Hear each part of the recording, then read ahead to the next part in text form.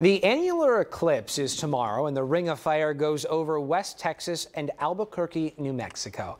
And this is where our Anthony is for us this morning. Before the eclipse happens, the Albuquerque International Balloon International Balloon Fiesta is going on. And again, this is where Anthony joins us live this morning. Can you hear me, Anthony?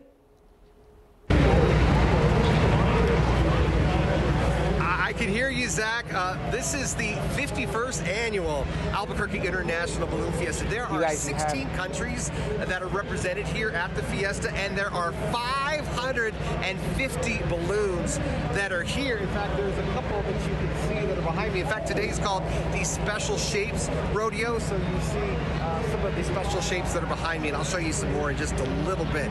Now, I grew up here, and I have a childhood friend who's on the safety committee. And while he didn't take me up in a balloon, he did take someone special to me. Looking at another great day. The day starts at 6 a.m. with a weather briefing.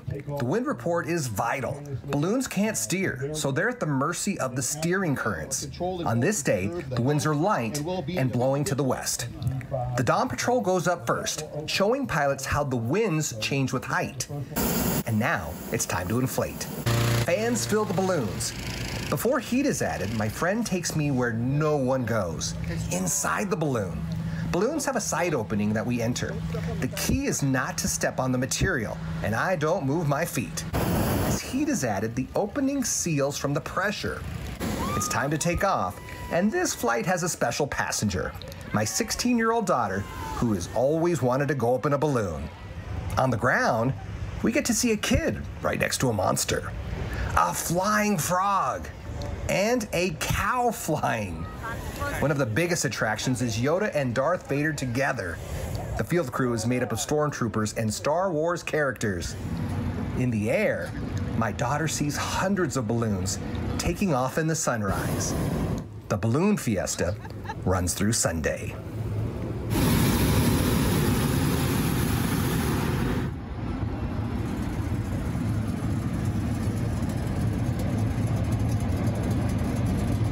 Just heard Caroline talking about the Ring of Fire annular eclipse. I want to tell you something about where I am here in Albuquerque, New Mexico. We are right along the center line for the eclipse. And so between 1034 and 1039 tomorrow morning mountain time, we're going to see the ring. Now in Houston, all we get is a partial eclipse. She was talking about that. But here's what's cool about this place tomorrow. In fact, I want to show you some of the balloons that are up in the sky.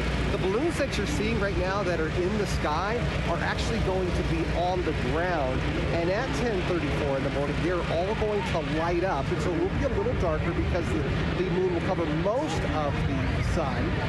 And so you're going to have that uh, lighting effect with the balloons. And then you're also going to have these, uh, the annular eclipse going on at the same exact time. So that's going to be uh, pretty cool uh, going on. NASA's going to be here tomorrow. They're giving out free eclipse to everybody who comes to the Moon Fiesta.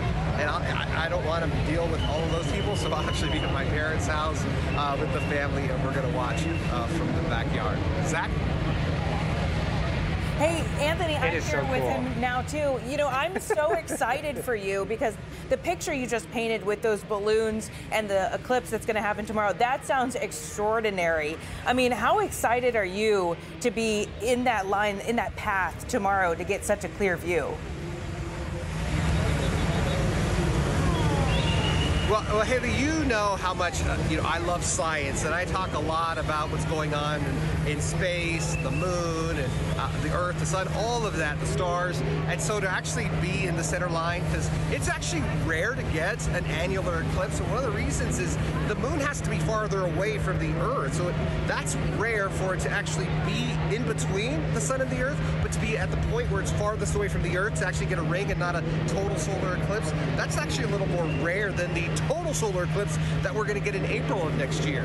Um, so it's I'm actually really excited to see that because I know a lot of people, this happens in their lifetime sometimes once every 30 years, once every 60 years. And so to be in the line for that, I'm pretty excited about that, Haley. I, I, bet you are. You know, I mean, I'm I'm here in Houston, and I plan on driving to San Antonio actually with my family to see it. So, uh, Caroline convinced me that you want to go see it now and try to get a good view yeah, because you April, never know you never know what the weather's going to be like in April, and it looks like you've got great weather there.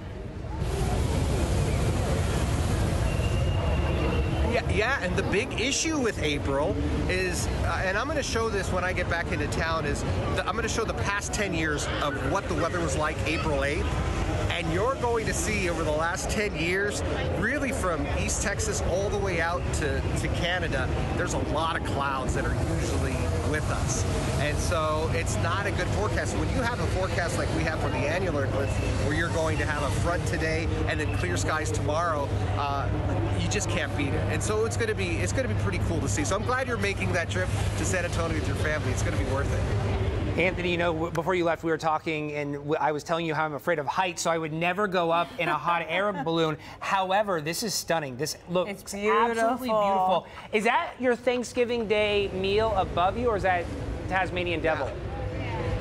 That... Uh, let's see, where the oh, okay. So let's go. Let's um, that is so that's not the Tasmanian devil, but it kind of looks like it. So that's just a kind of a creepy creature. Um, so let's see. so that's not the Thanksgiving dinner. You don't want the stork for the Thanksgiving dinner.